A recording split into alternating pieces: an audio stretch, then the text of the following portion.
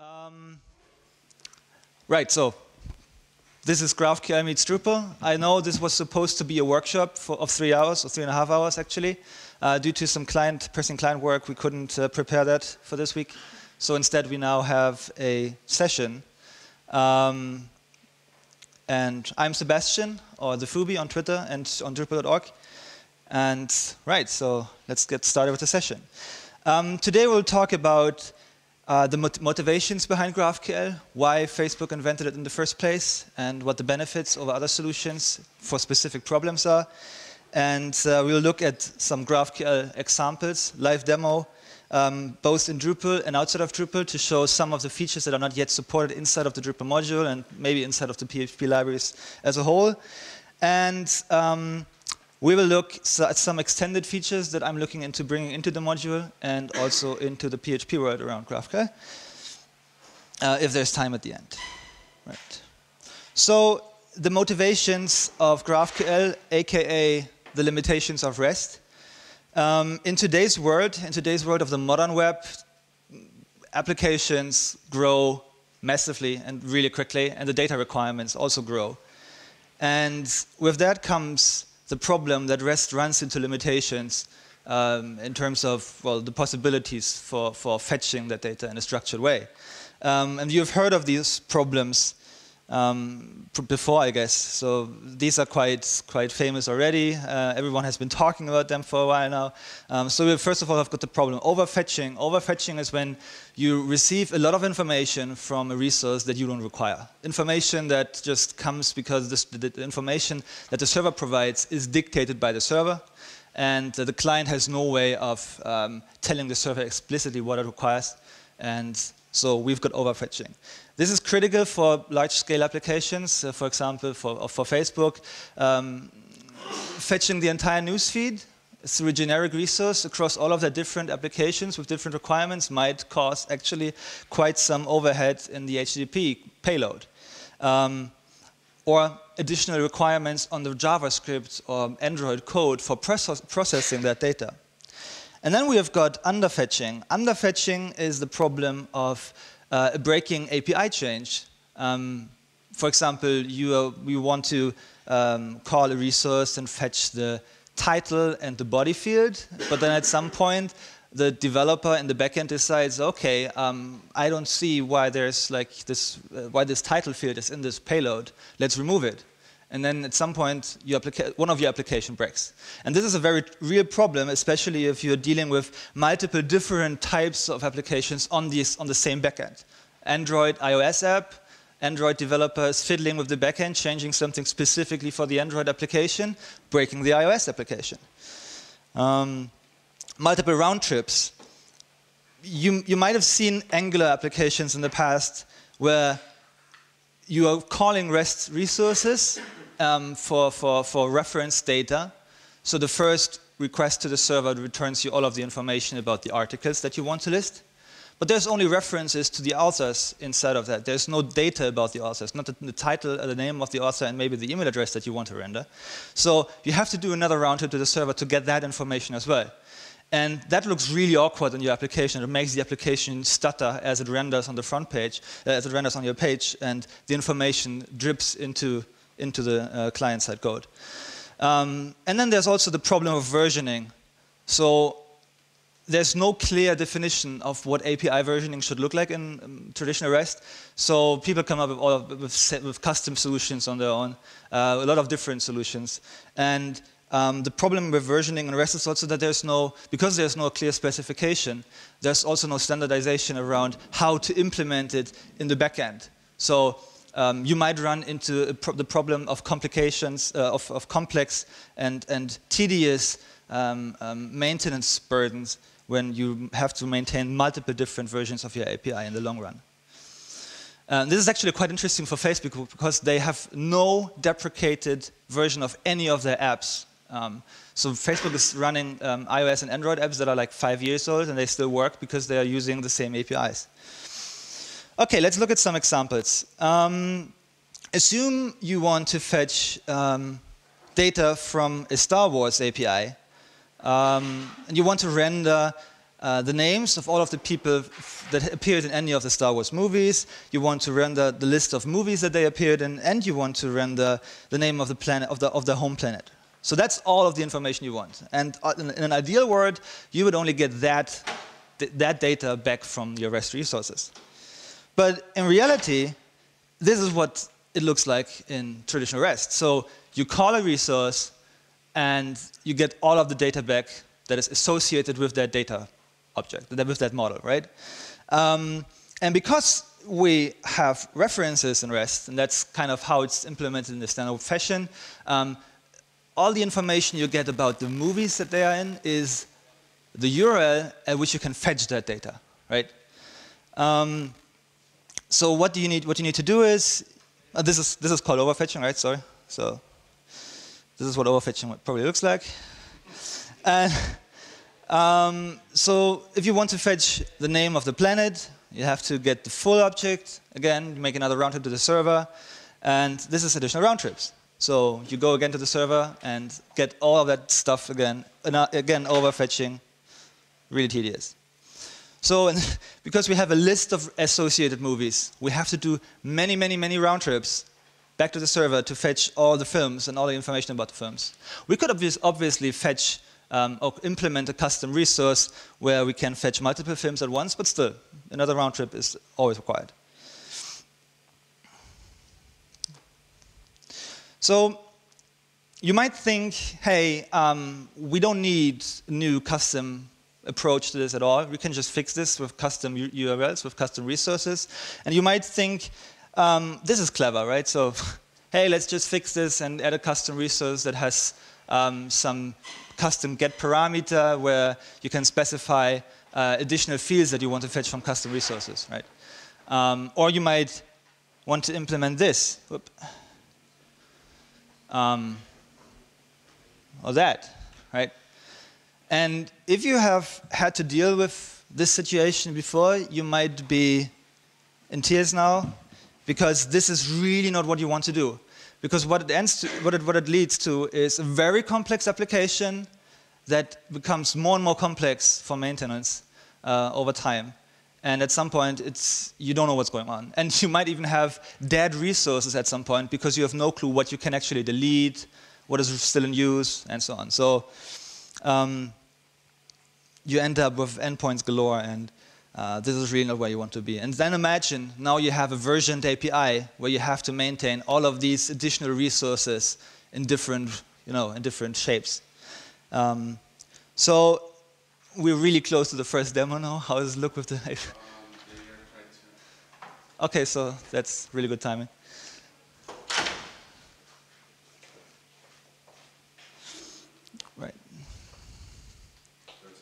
Um, yeah, I can just keep talking, and you you can maybe try. Sure.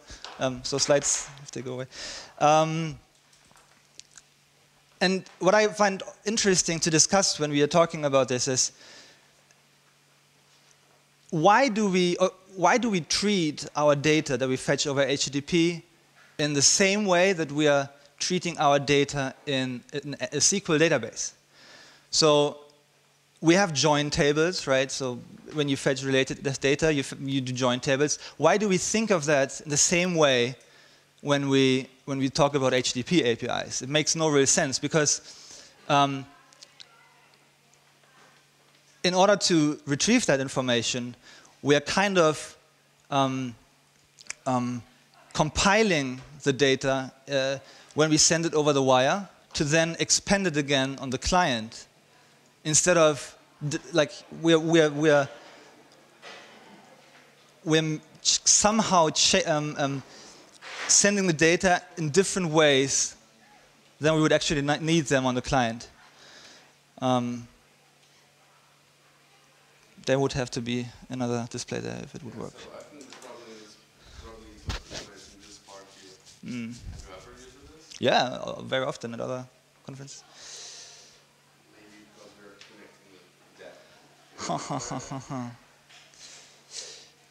well, so here's the idea. Um, I already scheduled the BOF for 13 uh, for for 1:30 p.m. Uh, we can do the Drupal demo there. Uh, I can do the live demo for GraphQL on one of the hosted GraphQL demo servers on the web. And you can also open that on your browsers if you want to. Um, sorry? Oh, I don't know this. Like, actually, where, where should we meet? Maybe just outside of this room after this presentation and we find a room together. Right, okay.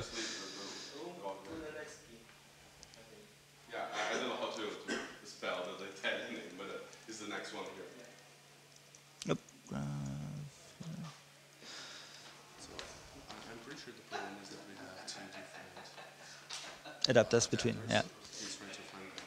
Yeah. Yeah. So the only problem is that we have to switch like between slides and demo now. It's it's fine though. So no, it's fine. Um, no, no. Um, if, yeah, if you can put this on it back again.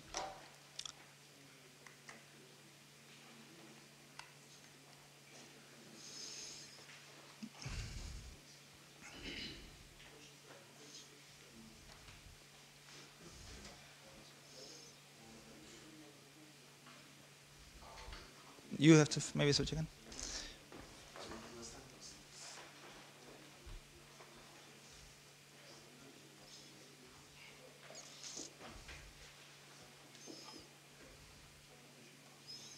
Yeah. So, right, in, in, in REST, we're kind of modeling the data, compiling it, then sending it over the wire, expanding it again on the client by doing these round trips and fetching the additional information, instead of exposing that explicitly um, wholesale. So increase the size of, this, of the text here. So wouldn't it be great if instead German keyword, why does anyone have a German keyword? Oh, there we go. So wouldn't it be great if I could just tell, give me all of the people, and then for all of the people, give me their name,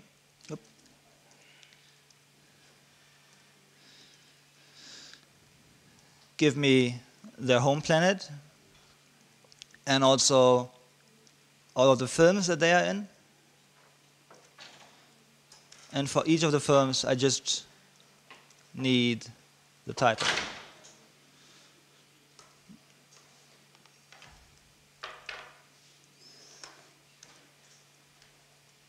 Right. this this is uh, GraphQL, what you're looking at right now. Um, actually, the interface that you're looking at is called GraphiQL. It allows you to run test queries and write them with type aheads and some auto-completion and uh, uh, syntax checks.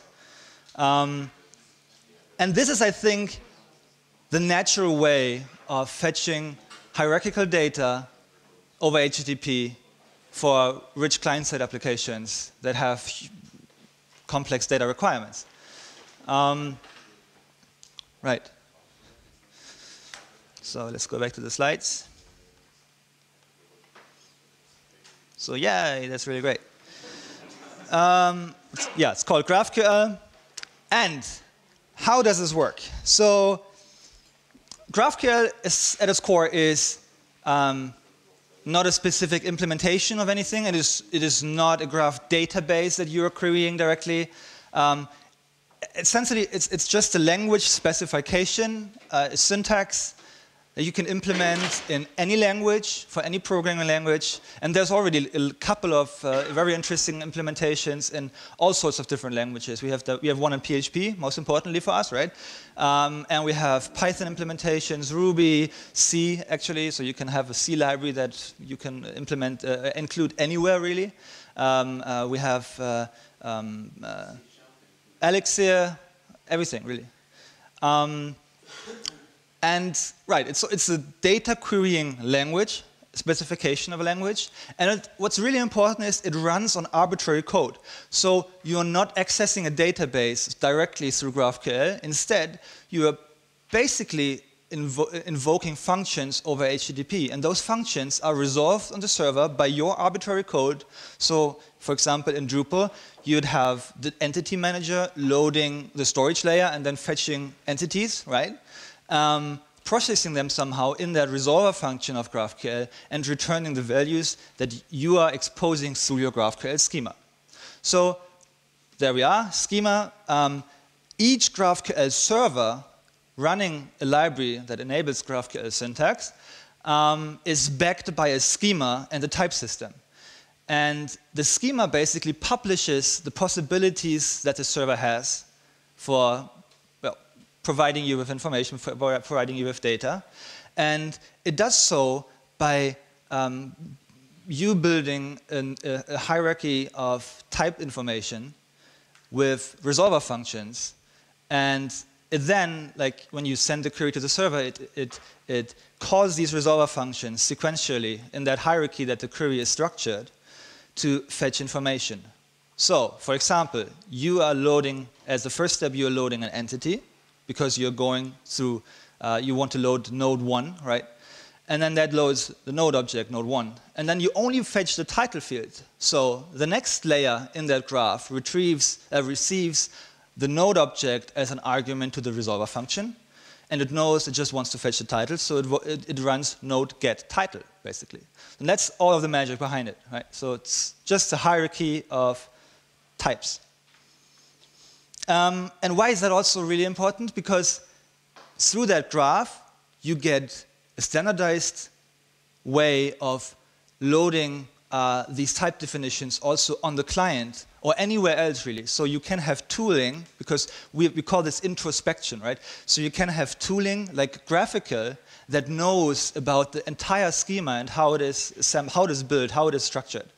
So you get type aheads uh, if you want. You can, you can have uh, IDE integrations that enable you to do uh, syntax checks inside of the IDE and, and maybe checks also whether uh, the fields that you are you know, uh, editing in your query string are actually available and all of these things. So this is really powerful and it allows you to generate documentation for your entire schema. Um, right, so I've talked about all of this. And I find it important to stress that I think it's not a replacement of REST. It's not something that uh, replaces the concept of REST as a, as a, whole. It's just an involvement of um, our way of, of, how we think about HTTP APIs and what's, uh, what's available to us as a tool, right? So this is just an additional tool for, for very specific um, uh, problems. So if you have a complex client-side application that has complex data requirements, why don't you give GraphQL a try? Um, for, for well, generic standardized API, you will probably still want to go with REST. Um, it's, it's, yeah, it's problem specific. And the way that I like to think about GraphQL is that it changes somehow the client-server relationship, right? So with REST, somehow the server dictates what everything is going to look like, and the client then only can, you know, fetch specific uh, information in a way that the server tells the client to, to consume it. And with GraphQL, the client specifies the requirements because after all the client knows best what it needs and what it wants to render and the server publishes its possibilities. Um, if you want to learn more about GraphQL syntax, there's three different, or GraphQL as, as a whole, the whole specification, if you will, um, there's three different ways of uh, getting that knowledge. So first of all, there is um, a lot of different demo applications on the web. Um, uh, this is probably the most famous one. It's by one of the core developers of GraphQL. Um, and it's uh, this GraphiQL interface running on the Star Wars API. And uh, if you look at the source code of that one, it's also on GitHub. Uh, you can see that it's basically making REST calls underneath. So the Node.js server that hosts this thing is basically still sending out REST calls, but for you as the consumer of the, of the, of the API, you're just doing the GraphQL queries. Um, and uh, if you want to uh, do the tutorials, there's also a nice learngraphql.com website where you can uh, get guided through the whole process and all of the syntax things. And if you're really brave, there's also the full specification, the RFC, um, in text format. It's really long, um, but it's really informative and it's also very well written, so I can recommend that too. Um, so far, we have only seen one small feature, well, the main feature, but uh, one part of GraphQL. We've only seen querying, basic querying, basic fetching of nested information. But there's much, much, much, much more in GraphQL, much more to the syntax than you saw so far. Uh, we have got fragments. Fragments are like mixins, if you know what I mean, traits, so to speak, right? So you can make them make reusable parts of your queries. We have mutations, write operations. Uh, we have got aliasing, so you can customize the structure of the response, and a lot of additional features. We will look at some of those in the extended demo that's, uh, that I'm going to do next. Um, um, and there's also other things on top of GraphQL, um, namely Relay, which would have been part of the workshop, and something that we will look at in the BOF, um, depending on how many people will come. So, yeah. Let's see these additional features in action.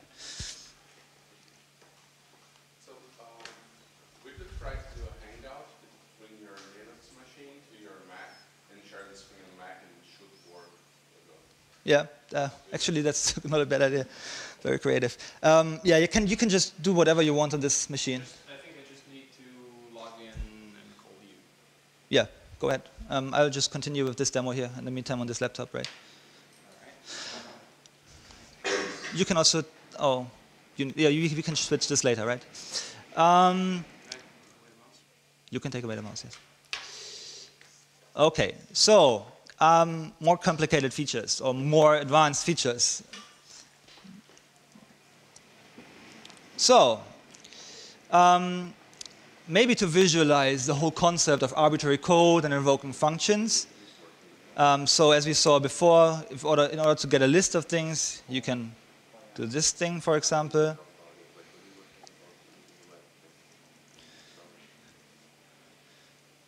And right, so as you can see, this is the introspection, basically also giving you the descriptions. You can fetch IDs, etc. And what's important is you can now, after running this query, you can see, okay, episode ID 4 is A New Hope. So you can say, okay, give me a specific film. Now we can see this is actually a function call, right? So because we have arguments. Whoa.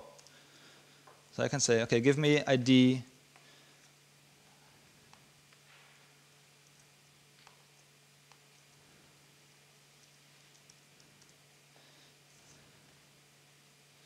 And for that, give me the title again. So if we execute this, A New Hope, right.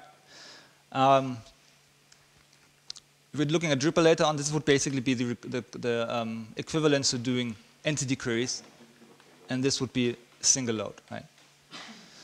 Um, so, right, we can do multiple root calls in the same query. We can tell it, give me all of the films, but also give me all of the people in the same request. It's just one HTTP request that we're making here, right?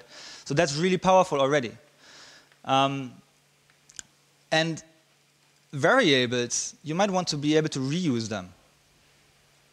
So let's make that possible. We can name our query. And we can say, okay, so there's this ID argument to this query and it is of type ID. Can you reuse that here?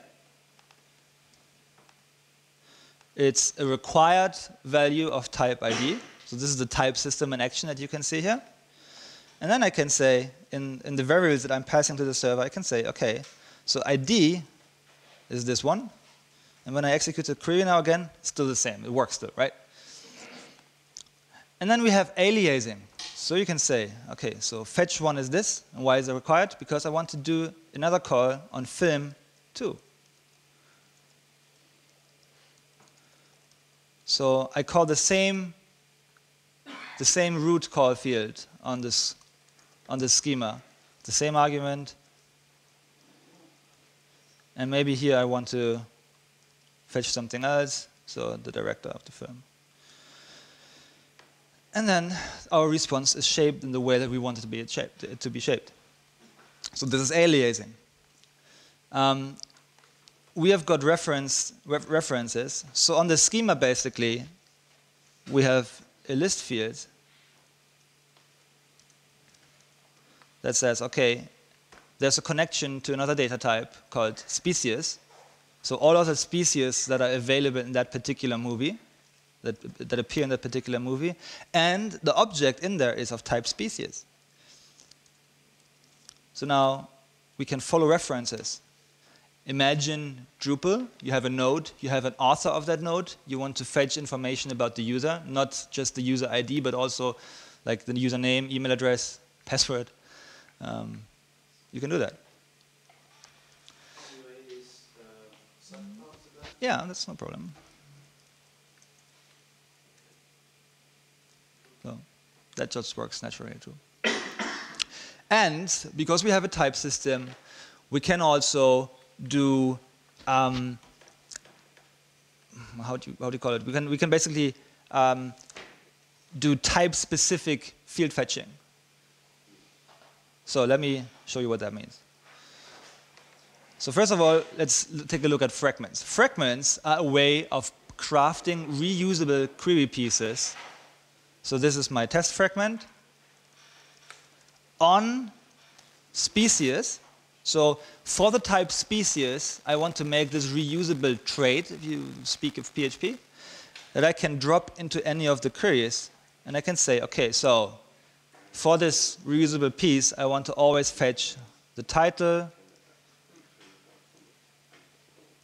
and maybe eye color, whatever. Oh, name, obviously. So yeah, you see, you get errors when something is incorrect.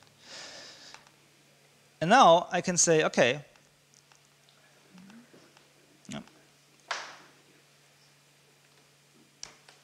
drop this in here. And right, so if I had multiple queries that want to fetch information about species, I could just do it like this. Why is this also important? Because there's generic entry points. So imagine you want to fetch a Drupal node. You don't know what bundle that node is going to be. So you don't know which configured fields will be available, right? And also the schema doesn't know it. So if we are fetching a node of type, uh, a node with ID 1, we will not have access to the title field because it's not, we don't know which bundle and if the bundle even has a title field, right? So what we do is and I can also visualize that here. Um, there's a generic node entry point. I can fetch any object that is uh, available. Um, let me just clean up a little bit. So any object that is available um, on the server can be fetched with a unique identifier across the whole application. Um, this is this ID string, right? You see it here. It's basically a base 64 encoded string containing information about the type of the object and the ID. Very simple, very clever. So, generic entry point node, we don't know what type of object is going to be loaded. So right now, we don't have any information that we can fetch in here except for the ID. So that's really not helpful. So what we do is, we can say, if the object that is going to be returned is of type film, give me the title. It's of type film, so we get the title. I can kind of make this make, make use of this by doing that multiple times and then based on the ID I provide down here, it will fetch different things. So let's get uh, the species first, so we can show that as well.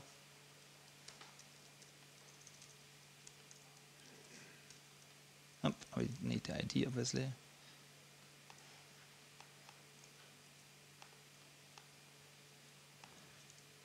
So if I now change this ID to this,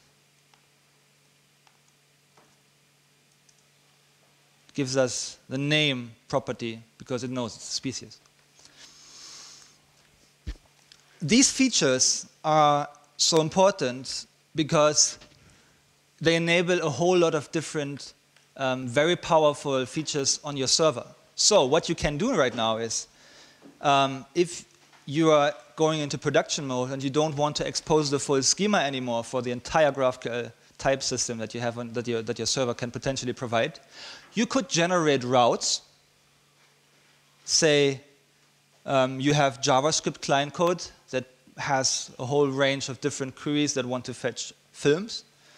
So you add a build task to your JavaScript code, which extracts all of the query that the JavaScript that, that are inside of your JavaScript code, and generates a PHP route in Drupal, right? For example, that knows okay, so um, the arguments inside of these queries um, is ID, right? So um, I, I, configure the route to be uh, um, Drupal slash GraphQL slash um, films slash placeholder ID. And then I copy the query string from the JavaScript code into the Drupal code, into the PHP code. And on the server, I basically run that query, but without exposing the entire schema to the client. So you get full freedom in your client-side application while you're developing.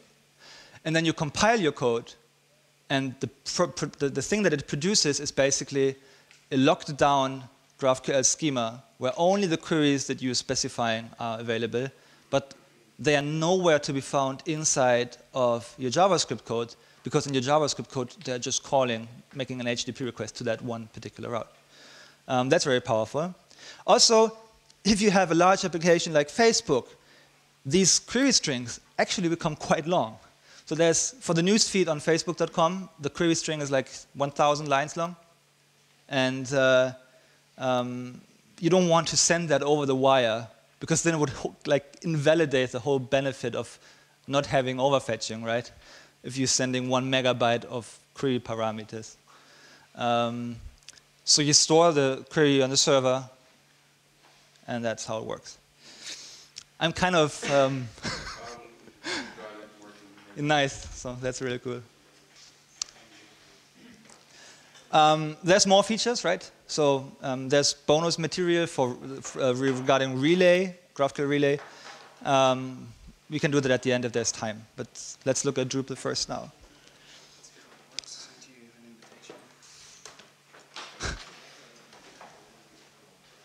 yeah. Oh, no, spoiler.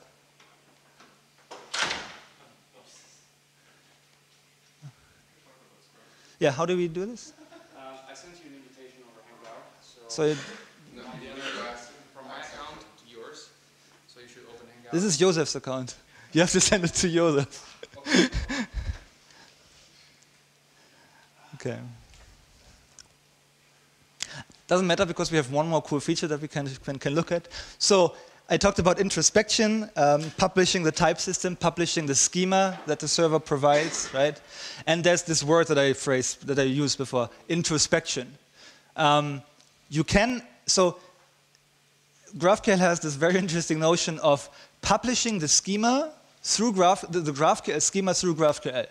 So you can use a GraphQL query to fetch, to, to recursively fetch the types, the type information for your entire schema. Um, and this, this works through a very uh, cool underscore prefixed entry point here. You can say, okay, access the entire schema. For every type in this schema, give me the name or the kind, uh, description, and then further, if this is an object, further descent in the fields, again, give me the type of the field, the name, the kind, the description, etc., etc. Right? And then you see, okay, so um, this is the entire type graph. And you can use that to generate documentation. You can use that to validate your code on the client side. You can use that to have IDE features. Um, right, so let's try it out. I'm sorry for all the inconvenience. I'm kind of. May I ask, uh, how would yeah, right. We can do questions in the meantime. So. May, may I ask, how would you tackle the versioning uh, in this? So right. Um, so the question was, how does that solve versioning? Um, because I like boldly claimed that it does. Um, there's a specific property on each of the types in your type system, um, namely is deprecated, right? And if you flag a field as deprecated, it will no longer appear in introspection. Introspection doesn't show it anymore. It's no longer publicized, but it still works. And because, and, and, and the very specific question that you had about how it solves the versioning of the API calls basically is, well, run, it runs on arbitrary code. So if you upgrade your underlying systems, or if you, if you want to um, um, make a new version of your API available, you basically add new fields, mark the old fields as deprecated, um, and the new fields would then run on the modern code, on the new code inside of your application, and the old one, the old code, uh, you would just basically write PHP code that somehow the, the BC there would be like a BC layer in your function call. So you'd you'd uh, leave this field in there and maybe like map to the old code, right? So, you know what I mean? Yeah, but um, will you be able to see if this deprecated uh, field, for example, gets called? Yes. Still get called? Interesting question.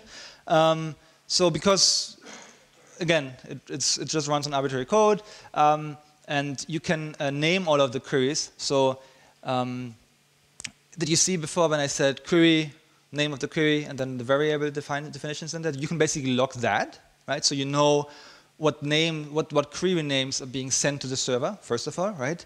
And if you want to know the specific fields that are being called, you would basically just uh, uh, in your in your resolver functions make a watchdog uh, call, right? Something like that, and then you know if it's still being used. So if you are deprecating something, if you're deprecating something in the resolver function, at that, at that point you would add a watchdog invocation to that resolver function, and then after two years you can check, hey, is that, is that still in my logs? If not, you just remove it. Cool. Any other questions until we're done here?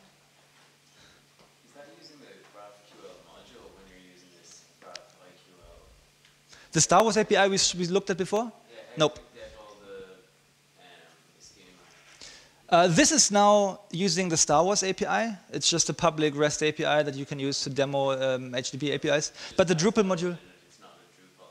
This is the Drupal module now. See, this is a Drupal environment. See, this is GraphiQL instead of Drupal.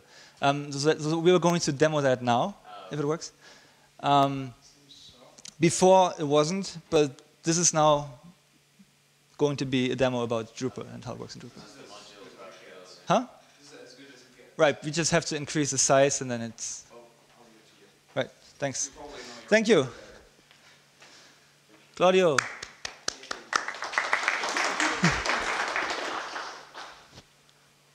Damn it. Why does Drupal 8 have to be responsive? Um, okay, I think this is kind of okay. Right. Oh, I'm sorry. I love Drupal 8. Uh, okay. Um, Drupal. So now you spoiled this a little bit because the query is already in here. Um, right. So there's a Drupal GraphQL module which is still in the works. There's a published version uh, which has some limited features and they, they work, but it's not, not fully done yet. And what it does is it allows you to run queries against entity query, so for listings, allows you to run, run queries through views, so um, you can specify further exposed filters and make like custom configuration for your views. And it allows you to fetch single entries. So let's do that first. Um, actually, let's do the list first. So node query, no, let's do one single one first. Node ID 1 so again, we have this thing where you can specify um, arguments to the function. And then we get, OK, a node obviously has a node ID. So let's see that, take a look at that. So we have one node with ID 1, obviously. And we can fetch the title. And we can fetch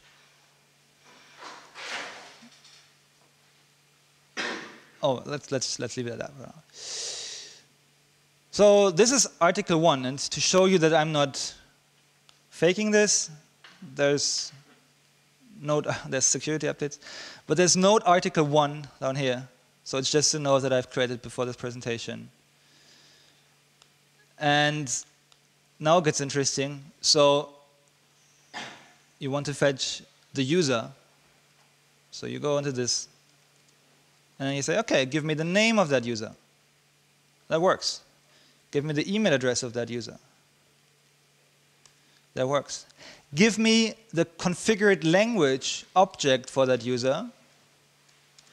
And from that object, give me the direction of the language, LTR or RTL. Um, so this is trying to kind of expose the entire type data graph of Drupal through um, a GraphQL schema. Um, and all that discovery on the left-hand side, yeah, left-hand side is dynamic. Yeah, this is com completely dynamic. Like it iterates the type data definitions of your Drupal 8 environment. Any entity type is in here. So we have user. Let me let's just look at it. Blog, comment, contact, file, node, shortcut, everything. So this is just iterating on the type data definitions. Um, um, right, and, and, it tries to simplify that a little bit. Um, yeah. So now we have the problem. There's a body field on article, right? But I can't query that. There's no body field. And that's because it is only available to article and page. Oh, God. So we have to go um, on entity node article. This is an article. Give me the, now we have it, give me the body. And from the body, give me the unprocessed, the, the value. Yes, okay? And then that also works. Um, right, listings. Type data exposes information about whether or not a field is queryable, so if it is something that is computed or something that is stored in the database. So when we run entity query, we get access to all of the different configured things that are stored in the database. So I can say, okay, give me all of, uh, give me uh, the nodes with our, called article one.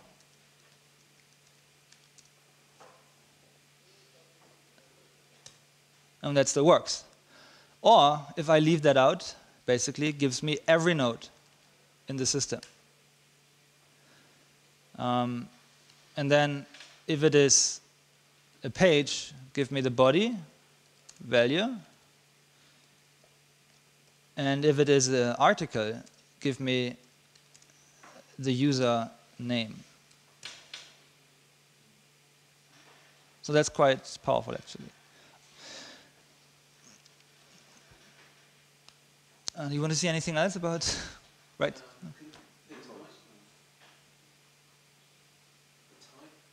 The type. Like you got on entity page, on the node page. Yeah. Because you got in the in your results, it doesn't say what kind of. Oh, this is not. This is uh, like the, you can only fetch the target ID Oh, right. because con right config entities are not supported yet. I'm trying to not tell you the things that it can't do. Sorry. Oh yeah, access control. Um, interesting question. Uh, this is actually the question that always that's always being asked, and I have not added a slide for that yet.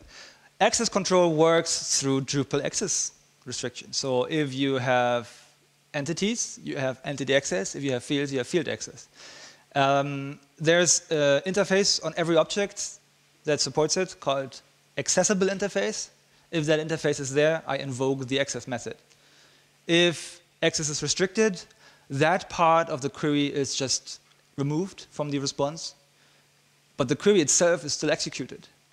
And that allows you to have client-side code, client-side code, a, a, gigantic query with additional information for administrators, people with administration permission. If it's not in the response, you know, the user doesn't have permission to, to, to get that information. If it is in the response and it's empty or whatever, then you know there's nothing in there. So you can kind of like branch your display in the front end based on that. Drupal. No, but uh, on the client side. Yeah, Drupal. Well, that's not job at the job of the module. So the module provides you with um, um, authentication or auth-based access checks, right? But how you authenticate your, your users is, de is dependent on which auth provider you use. So auth providers in Drupal 8 are pluggable.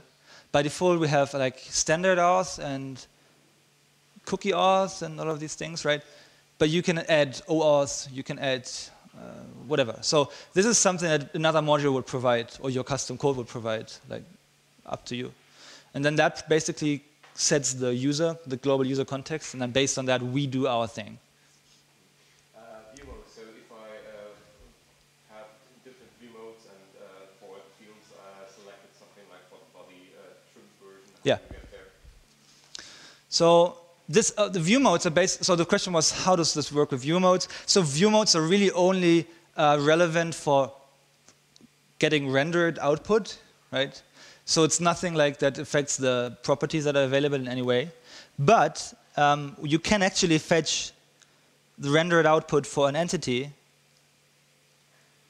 So have PHP render it, and you can specify the view mode. And it's like an enum that allows you to specify all of the different, like here you can see, theme debug, sorry. So debug mode is on. But you can specify that, um, and yeah. Um, I don't know when you would want to do that though. Uh, responsive images. Like getting all the uh, responsive images. Uh, I have an, uh, a set of images. I have a, uh, resp- a set of responsive images. I probably want to have the, the links to these images uh, as well as Oh yeah, okay, okay. So you mean when you so the question was how does this look for responsive images? You mean in terms of fetching the data for the images or the rendered output? Because the rendered output is going to be the same. So rendered output is just the same. It just runs the Drupal renderer and returns the string. Um, actually, I think let's let's move on because I have like two more three, two or three more slides, and then we have a lot of time for questions. Um, actually, we don't because it's over already. But uh, Oh, you know what? Because otherwise I'd have to plug it all. I'm so sorry for all the inconvenience, right, with all the laptops. But I would have to change the laptops again now. So let's continue with questions. Basically, the last slide would be what the modules can't, can't, can't do yet. So there's no relay support yet. I'm trying to add that. I'm going to replace the underlying PHP library of the module because right now this is running on the uh, PHP parser and lexer that I wrote myself, but I don't have time to maintain it. And there's other people writing other libraries which are also really good. So I'm going to switch to something that is more maintained. Um, it's kind of sad because I've spent a lot of time on writing that, but uh, um, right, uh, it's just a necessary thing to do in order to support relay and all of these things that I can't add. I don't have time for that. So I'll, I'll work on the module and let, let the library, the hard stuff, be done by some other people. Um, we will add pagination support. Um, pagination is really interesting in, in Relay. Um, this, is, this is something that is, I, I recommend everyone to check out because this is so cool and it's so clever so, solved in, in Relay. Uh, we'll look at that in the BoF afterwards. Um, and uh, we'll solve some of the caching issues. Um, and yeah, that's basically it. And mutation, so write support is also really interesting on GraphQL. We'll also, I'll also show how write works, uh, also in the BoF after this. Um, right, so questions? Yeah. So the question was, how do you translate fields? So generally, we choose um, the language of the user, right? So the, the- because you have an auth context when you when you do authentication, and then at that point, all of the data that you're fetching is based on the active user. Um, what you can do is uh, you can basically expose a language argument on every resolver function. I'm not sure yet if we want that. Um, or we could make it even so that when you specify a language object on any of the, the fields, at that point, all of the fields nested beneath that point know about that context and keep the language active. So um, inside of that subtree, then the language would stay that same. Um, this is open for discussion and uh, it's not implemented right now. So we always respond with the language of the user. But it should be, it's trivial to add a field argument, a function argument to each of those. Um, what kind of endpoint accepts this kind of uh, syntax? GraphQL? Yeah. So the question is, uh, what type of endpoint um, um, can rec- uh, receives that query? It's just so you see here. This is Graph. oh, You don't see that, but it's GraphQL slash Explorer for the GraphiQL interface, and just GraphQL is for the query. So this sends the query to slash GraphQL, and it, you can send it as a get parameter, um, or you can send it as a as a, a, a body value query, and then variables. Um, um, Maybe there's actually a question. So I said you, you would send it as a get parameter. Maybe people will have a question about that. Hint, hint. Um, write operations through get, hmm, right? Um, is there a question about that? Uh, yeah, you can. So uh, you can write through get. This is quite uncommon. Um, but what is, is there actually an argument against it? Well, you'd say, okay, so get through post is quite bad because HTTP caching is gone, right? Um, you can actually solve that by using get, but then you have like the max limit of get, get size, right? All these problems. Um, it is kind of mitigated by the fact that this is very efficient already. So do you need clients that get caches? Huh? But even then, in, the, in this modern world, you can solve the caches um, still. And, and actually, you can, you can make HTTP post caching possible. This is kind of, it's like, if you Google that, it's actually, there's actually ways to make that possible. So, yeah, um, right. Other questions? Well, let's, let's uh, have some other people first, but then we can come back to you. So if you currently have a REST API exposed from another company, or Yep. can you build this on top of that? To, Yeah. So the question is, when you already have a REST API, so actually you can make two questions of that. So if you already have a REST API, how do you upgrade to GraphQL? And then the second question, can you uh, implement other REST APIs in GraphQL? So function calls. So uh, let me ask the answer the second question first. Um, if you have a remote API like Facebook, Twitter, whatever, you can create a schema in your GraphQL implementation and make the, the, Facebook API calls through the same schema, so the same query. So maybe you have a field on your user account, on your user profile, which contains the Facebook user ID of that particular person, and you want to fetch the Facebook posts for them. So why don't you create a resolver function that, for that user ID, calls Facebook API and returns that information? One query, a remote API call is made on the server, very efficient. You can even cache that on the server, right? So actually, that's that's uh, something that I li really like about um, GraphQL. Um, and then the question is, oh, if you already have a REST API, how do you upgrade? Two different solutions to that problem. Um, the Star Wars API actually is an implementation of exactly that. So the Star Wars API we looked at before is built around an existing Star Wars REST API. So it, it's basically making REST calls in the resolver functions. So if you have like um, DevOps people in your team going like, um, well, you say, okay, let's let's move Graph to GraphQL, and say like, meh, nah, let's not do it, and then you can just implement it on your own, right? So you set up a Node.js server, um, and uh, you call your backend APIs, the REST, APIs, just to normal REST module, whatever. And then in your front-end code, you just switch it out. And then after one year, you tell them, hey, actually, we are just we're already using GraphQL, so let's not, let's move to that in the backend. Um, that's how you upgrade. That's how you can make an intermediate upgrade step. Um, so, other questions? Can, can you query on fields or only properties? Uh, this is a very good question um, because on the node query thing, we don't. We only have the things that are available to all node types. Yeah, I'm thinking if you put a node type as a parameter, can you then maybe infer that you know what the fields will be? Nope. Uh, this is a limitation, but for that we have views as a solution. So you can configure a view where you have an exposed filter and the view is already like limited on articles. Then you can have the exposed filter in view uh, show up in these arguments. Um, we have view support, so I didn't show that yet. So there's a configured view right now already. Um, or is there? No, there is not. Uh, well, Actually, you'll have to trust me on this because we don't have much time left. But there's a view, and you can. There's a special views plugin called GraphQL Display, and then you. Yeah. You approach, though, you, oh, you're over-fetching, which is not displaying. So not, In views, you mean? well, yeah, you, um, you're building a view that can handle the querying and then support the return values that you might then, then you're in effect running a query. No, no. Oh, right. So, um, so the question was basically, aren't you then overfetching on the server and just filtering on the server? Um, the way the, the way views works, it's the same. You do, you don't configure fields in your views. The display does not support fields. It only supports you configuring exposed filters and contextual arguments. So this is like rendered rendered entity display kind of right. So instead of rendering the entire entity, I'm just running, uh, I'm just fetching the IDs of each of the entities, and GraphQL does the loading of the actual data. So views doesn't do anything. Uh, It's just views is just configuring the entry point. Um, right. Other questions? Are we done?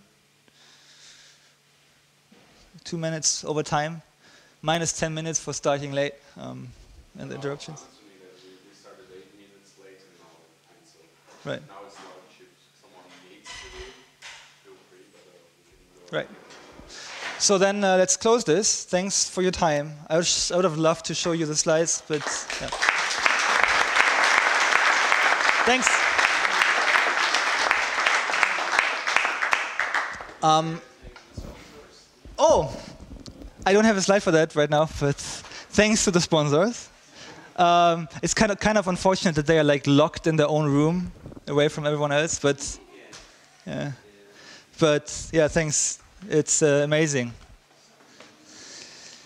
Um, so I guess like let's grab food, everyone, and then whoever is interested in Relay and the client side, uh, React maybe, Relay, um, server-side rendering, and all of these things. Let's meet in like 10 minutes, 15 minutes.